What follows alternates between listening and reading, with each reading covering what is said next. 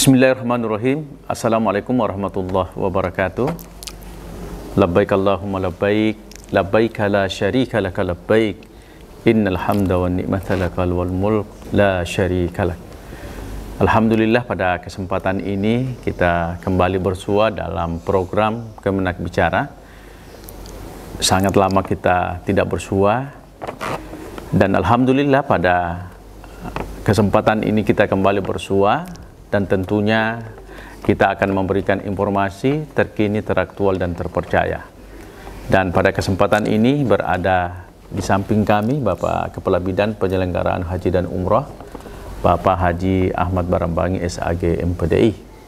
Tentu kita akan mengupas banyak terkait masalah uh, haji di seputaran pandemi COVID-19. Dan Alhamdulillah pada tahun 2022 ini kita telah mendapatkan kuota. Untuk lebih jelasnya tentu kita akan mendengarkan penjelasan dari Bapak uh, Kabit PHU. Assalamualaikum Pak Kabit. Waalaikumsalam warahmatullahi wabarakatuh. Apa kabar Pak Kabit? Kabar baik, alhamdulillah. Iya, Alhamdulillah Pak Kabit ini awet muda terus karena pokoknya tidak ada masalah yang tidak bisa diselesaikan. Semuanya punya solusi. Insya Allah. Oleh karena itu Pak Kabit, kita sangat bergembira karena kurang lebih dua tahun kita tidak menyelenggarakan ibadah haji.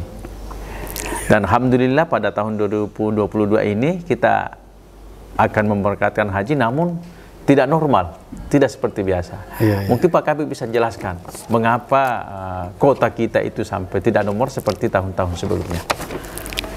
Ya, terima kasih Pak Kasubag Humas. Alhamdulillahirabbil alamin. Labbaik Allahumma labbaik. Allahumma salli ala sayyidina Muhammad wa ala alihi wa ashabihi ajma'in amma ba'd.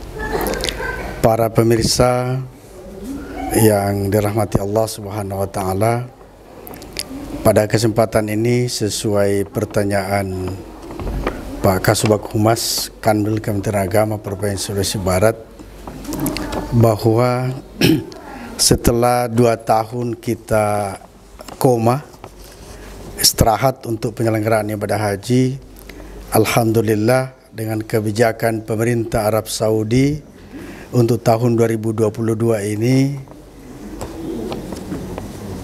memberangkatkan jamaah haji dan membuka ruang untuk seluruh warga muslim sedunia untuk menunaikan ibadah haji dengan kuota satu juta jamaah haji.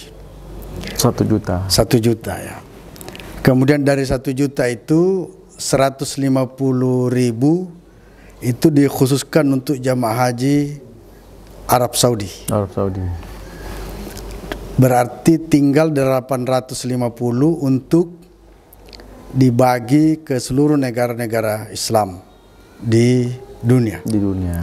Alhamdulillah kalau kita melihat secara kuantitas Indonesia mendapatkan kuota 100.051 jamaah terbanyak dari negara-negara Paling banyak ya? negara-negara yang memiliki penduduk muslim di dunia ini di dunia ini. Alhamdulillah. Alhamdulillah.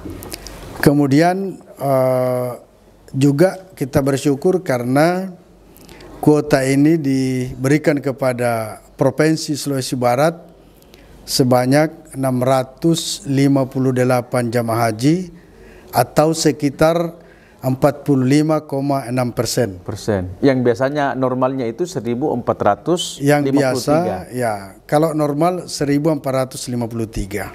Ya. Dari kuota ini pemerintah Arab Saudi mengeluarkan lagi kebijakan bahwa dengan pertimbangan an-nafs keselamatan jiwa Ya. maka Arab Saudi memberikan kebijakan mengeluarkan kebijakan bahwa sebaiknya usia 65 tahun ke atas ditunda keberangkatannya untuk tahun 2022 ini yang insya Allah jika situasi sudah sudah normal tahun 2023 akan diberangkatkan kembali. Jadi calon jamaah haji kita yang sudah berusia 65 tahun ke atas jangan pesimis karena Tidak insya Allah pesimis. kalau sudah normal itu akan seperti biasa lagi. Akan Normal seperti biasa ya, berdasarkan nomor porsi. Nomor porsi, ya. Di Sulawesi Barat ini usia 65 tahun ke atas sekitar 200 jamaah haji. Berarti sudah tinggal 1253 jamaah haji. Itu Yang, yang masuk kuota jadi seandainya normal. Ya, berarti itu kalau kota jadi, kota normal ya. Karena kuota karena kita dikasih kuota 658 berarti masih ada usia 65 tahun ke bawah 595 jamaah haji yang ditunda juga keberangkatannya tahun ini karena tidak masuk porsi kuota yang diberikan oleh pemerintah Arab Saudi. Pemerintah Arab Saudi. Istilahnya urutan 659 ke atas itu tidak berangkat untuk tahun ini. Jadi jumlah 65 usia 65 tahun ke bawah dan usia 65 tahun ke atas sejumlah 795 jemaah. Berarti lebih, ba- lebih banyak tidak berangkat Oh, Lebih daripada banyak yang tidak berangkat daripada berangkat. Nah, oh iya Pak Kabit ini. Karena kita sudah mendapatkan kuota 658. Upaya-upaya apa yang dilakukan selama ini? Karena kan ini masa kita sangat singkat sekali. Apa yang dilakukan oleh Pak Kabit beserta seluruh jajarannya? Bagaimana agar calon jamaah haji bisa memahami mulai tata cara berangkat haji sampai bagaimana dalam melaksanakan ibadah haji. Tentu ada manasik-manasik haji. Apa yang dilakukan Pak Kabit dalam waktu yang rentang sangat singkat ini? Ya Alhamdulillah dengan sistem yang kami sepakati dengan teman-teman penyelenggara haji, kepala seksi haji se-Sulawesi Barat bahwa sebelum Ramadan, jauh sebelumnya kita sudah melakukan persiapan diandaikan sebuah bis yang akan melakukan perjalanan itu sudah semua siap. Supirnya sudah siap, kunci-kuncinya sudah diberikan ke supir. Pakaiannya sudah siap, tasnya sudah siap. Pakaian, tas sudah di atas bis, mobil sudah diisi bensin. Jadi begitu ada perintah, walaupun perintah itu diandaikan jam 3 malam, maka kita sudah langsung berangkat. Langsung berangkat Sudah karena siap. sudah siap. Alhamdulillah. Sehingga waktu yang diberikan kepada kami manasik haji hanya sekitar satu minggu, mulai tanggal 23 dan diakhiri tanggal 22. Alhamdulillah berjalan lancar di setiap kabupaten. Setiap kabupaten Alhamdulillah tidak ada kendala yang Tidak ada kendala yang tidak bisa diatasi. karena tentu di manasik itu ada juga praktek-praktek. Ya, tentu teori dan praktek dijalankan. teori dan praktek. Iya. Nah, di sini juga saya lihat sampai sejauh mana dukungan pemerintah eh, dalam pelaksanaan ini. apakah misalnya miniatur-miniatur yang menjadi pelengkap daripada manasik itu itu sudah ada di bidang PHU Pak Kabit. Ah, Kalau kita mengamati dan menyaksikan secara konkret di lapangan, kita bersyukur karena perhatian dan bantuan pemerintah kepada penyelenggaraan jamaah penyelenggaraan haji di Provinsi Sulawesi Barat ini sangat tinggi. Namun tentu saja kita ingin lebih baik dari tahun-tahun sebelumnya. Iya. Jadi setiap tahun kita ingin perbaikan itu selalu ditingkatkan. Selalu ditingkatkan. Nah ini Pak Kabit, ini karena kita sudah ada kota, kita sudah melakukan manasik haji, berarti tinggal persiapan untuk berangkat. Dan kami melihat bahwa Sulbar ini masuk di kloter 13 dan kloter 18, berarti ada yang utuh dan ada yang gabungan. Nah sampai sejauh ini persiapan Pak Kabit dalam hal ini kloter-kloter yang telah ditunjuk itu, Polman, Majene, kemudian Mamasa, itu apa sudah siap untuk diberangkatkan? Ya, jadi jamaah Sulawesi Barat ini terdiri dari satu kloter ya sepertiga. Sepertiga. Jadi hampir sempurna Hampir karena sempurna ya. ya karena untuk tahun ini satu kloter itu 389. Jadi kita terbagi dua kloter, satu kloter utuh, Polewali Mandar, Majene dan Mamasa itu bergabung pada kloter 13. Iya. yang insya Allah akan berangkat meninggalkan asrama haji, meninggalkan Sulawesi Barat tanggal 26 7 26 ya. Juni bulan ini masuk asrama diterima di asrama tanggal 27 dan insya Allah akan terbang ke Jeddah pada tanggal 28, 28. Juni 2022 pada pukul 4 lewat 10 menit dini hari. Dini hari oh berangkat pagi-pagi sekali. Kemudian insya Allah akan kembali ke tanah air ini tanggal 9 Agustus, Agustus 2022. 22. Kemudian kloter gabungan Ya. Kabupaten 18. Mamuju, Kabupaten Mamuju Tengah dan Pasangkayu ditambah dengan Kabupaten Sinjai, Provinsi Sulawesi Selatan itu berada pada kloter 18 18. yang insya Allah akan diterima di asrama pada tanggal 1 Juli, terbang ke Jeddah tanggal 2 Juli. Dan insya Allah akan kembali ke tanah air ini pada tanggal 12 Agustus 2022. Ini Masehi. juga yang sangat penting Pak Kabit. Jangan sampai kita sudah mempersiapkan semua. Kan nanti kalau sudah tiba di asrama haji Sudia Makassar, Siap. itu tentu semua persyaratan-persyaratan calon jamaah haji itu harus dimunculkan atau paling tidak harus diperiksa kembali mulai dari dokumennya, PCR-nya bagaimana. Karena kita masih dalam kondisi COVID-19. Nah, langkah-langkah yang dilakukan oleh Pak Kabit itu untuk bagaimana agar dokumen-dokumen mulai dari vaksinnya, paspornya, visanya, pesannya bisa berjalan dengan lancar, apa yang dilakukan? Ya pertama kami selalu menjalin hubungan koordinasi yang intens ke pusat terkait dengan dokumen pelunasan. Alhamdulillah selesai. Eh, dokumen paspor sudah selesai. Kemudian visa alhamdulillah tinggal kita menunggu dalam proses untuk Provinsi Sulawesi Barat sudah berada pada zona eh, abu-abu. Kalau sudah hijau berarti selesai. Sudah terkirim visanya ke kita. Iya. jadi tinggal satu langkah lagi. Kemudian vaksin alhamdulillah jamaah kita sudah vaksin lengkap. Booster. ada yang booster sekitar 70% booster tetapi yang dipersyaratkan adalah vaksin lengkap dua kali Sinovac semua selesai PCR. kemudian tinggal VCR menhitis juga sudah selesai tinggal VCR yang insya Allah akan dijadwalkan Ya. untuk kloter 18 itu dipusatkan di Kabupaten Polewali Mandar, Kecamatan Wonomolio Ya. pada tanggal 23 Juni. Berarti kloter 13 ya? 22 untuk kloter 13. Oh, ya.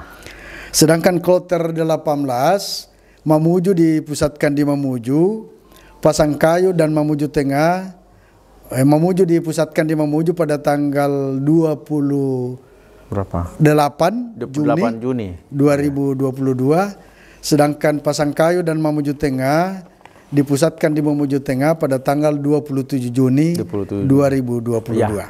Ini seandainya Pak Kabit, Siap. hasil PCR-nya ada yang positif. Jadi berangkat atau ditunda? Menunggu sampai positif? Atau menunggu kloter yang belum berangkat?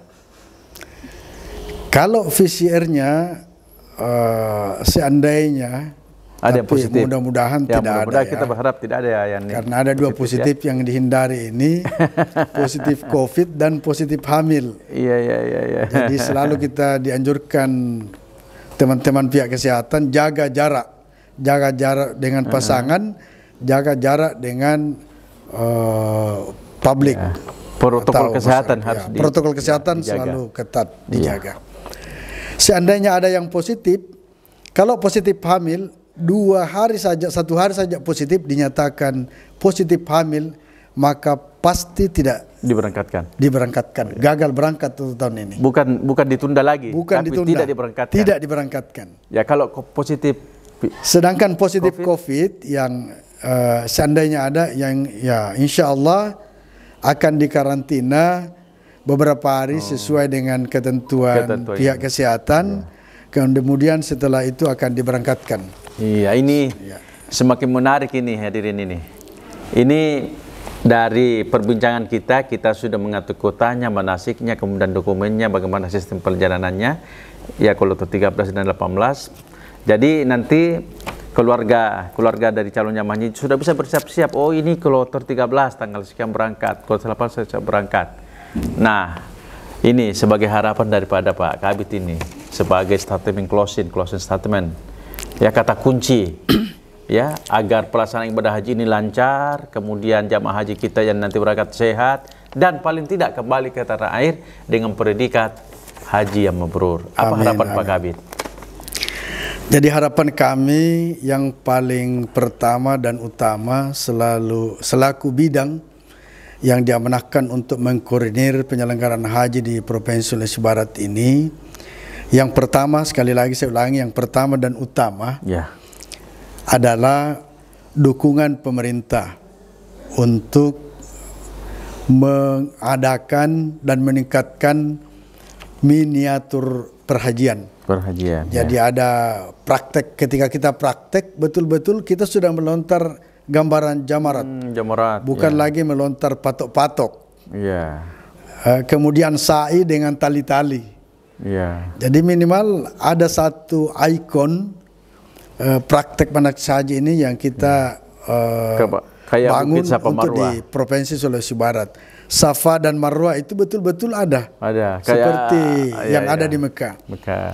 Supaya jamaah haji faham Ya. dan merasakan apa yang akan dirasakan di Iya. Masjidil Haram nanti di Mekah nanti. Pokoknya kita sudah seakan-akan sudah di Makkah. Semuanya eh, duplikatnya hampir sama dengan yang aslinya. Ya, saya kira supaya lebih dekat, lebih terasa, lebih nyaman dan lebih faham, Paham. itu seharusnya begitu. Dan tentu Pak Kabit mengharapkan kita semua berdoa ya untuk mungkin semua jajaran Kementerian Agama Iya. Provinsi Sulawesi Barat. Ah, Itu untuk pemerintah daerah, provinsi dan kabupaten. Yang kedua untuk pemerintah, harapan kami untuk pemerintah provinsi dan kabupaten, mohon dukungan pengadaan lokasi seperti yang sudah ada di Pasangkayu dan Mamuju Tengah tentang pengadaan eh, pusat layanan haji terpadu. Oh, ya. Ini di sana akan ada BPS, Badan Pen, Bank Penerima Setoran, kemudian ada kesehatan, poliklinik kesehatan. Poliklinik kesehatan. Jadi jamaah haji insya Allah satu kali jalan, satu kali datang di satu tempat semua terpenuhi. Sudah terpenuhi. Kesehatan, kemudian bank setoran dan eh, dokumen-dokumen haji sudah ada karena Kementerian Agama, Kesehatan dan Iya. bank itu sudah terpadu pelayanannya. Iya, karena Kementerian Agama ini lebih dekat dengan umat. Jadi Saya kira- dari sisi layar dan sebagainya. Ya semua dekat saya kira. Semua Iya, dekat. saya kira itu menjadi akhir dari perbincangan kita di Kemenak Bicara. Tentu banyak hal yang perlu kita ketahui tentang apa dan bagaimana program yang dijalankan oleh Kementerian Agama. Yang tentunya pada kesempatan ini yang sudah di depan mata kita adalah pelaksanaan ibadah haji. Kita semua berharap bahwa pelaksanaan ibadah haji tahun 2022 ya di tengah serangan COVID-19 ini kita berharap senantiasa lancar, selamat, sukses dan para calon jamaah haji kita meraih predikat haji yang mabrur dan kembali ke tanah air dalam keadaan sehat walafiat dan dengan predikat haji yang mabrur. Saya kira itu menjadi akhir pertemuan kita. Terima kasih atas segala perhatian. Mohon maaf atas segala kekurangan. Kemenak Bicara hadir memberikan informasi terkini, teraktual dan terpercaya. Wallahul muwaffiq ila aqwamit thariq. Wassalamualaikum warahmatullahi wabarakatuh. wabarakatuh.